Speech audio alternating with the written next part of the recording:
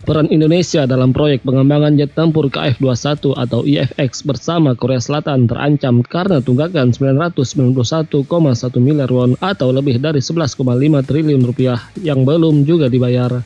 Menyusul kunjungannya ke Indonesia awal bulan ini, Kepala Administrasi Program Akuisisi Pertahanan atau DAPA Korea Selatan, Eom Dong Hwan telah mengusulkan untuk menangguhkan kerjasama dengan Indonesia dalam proyek jet tempur tersebut. Pada 6 Oktober lalu, Kementerian Pertahanan Indonesia mengumumkan bahwa Eom Dong Hwan bertemu dengan Menteri Pertahanan Prabowo Subianto. Namun kedua belah pihak tetap bungkam terkait dengan kesimpulan diskusi mereka. Saat diperiksa publikasi pertahanan Jen saat itu, DAPA menyatakan terus melakukan normalisasi pengembangan bersama KF-21 Republik Korea dan Republik Indonesia. Namun pihaknya menambahkan bahwa karena diskusi berlangsung antara kedua belah pihak, pengungkapan rinciannya dibatasi.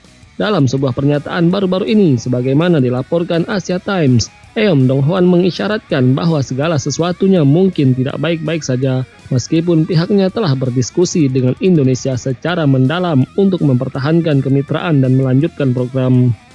Eom Dong Hwan lanjut laporan tersebut mencatat bahwa Indonesia belum menyumbang 991,1 miliar won dan proyek tersebut akan ditinjau secara menyeluruh dalam waktu dekat saat menghadiri audit Komisi Pertahanan Nasional yang diadakan di Majelis Nasional pada tanggal 16 Oktober, Eom Dong Hwan mengatakan kita harus mengambil tindakan tegas terkait tidak dibayarnya bagian proyek KF21 oleh Indonesia. Eom Dong Hwan mengaku telah mengatakan kepada pihak Indonesia untuk menghentikan proyek KF21 dengan baik. Kontribusi harus dibayarkan. Kami tidak punya pilihan selain meninjau kembali keseluruhan bisnis dari awal.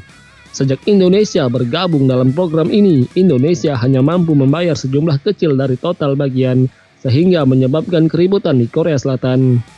Sumber yang tidak disebutkan namanya dari PT Dirgantara Indonesia atau PTDI mengatakan pihaknya tidak akan mundur dari komitmennya terhadap program pesawat tempur generasi 4,5 KF-21 Boramae Korea Selatan meskipun gagal memenuhi tenggat waktu pembayaran.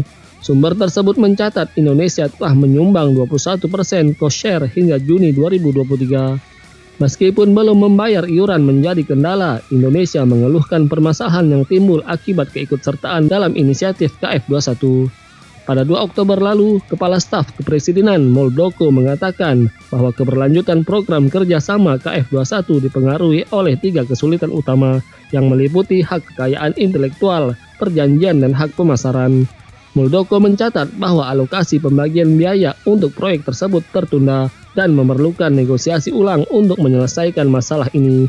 Indonesia menginginkan 20% saham dalam program KF21 dan transfer teknologi, sementara Korea memegang sisanya.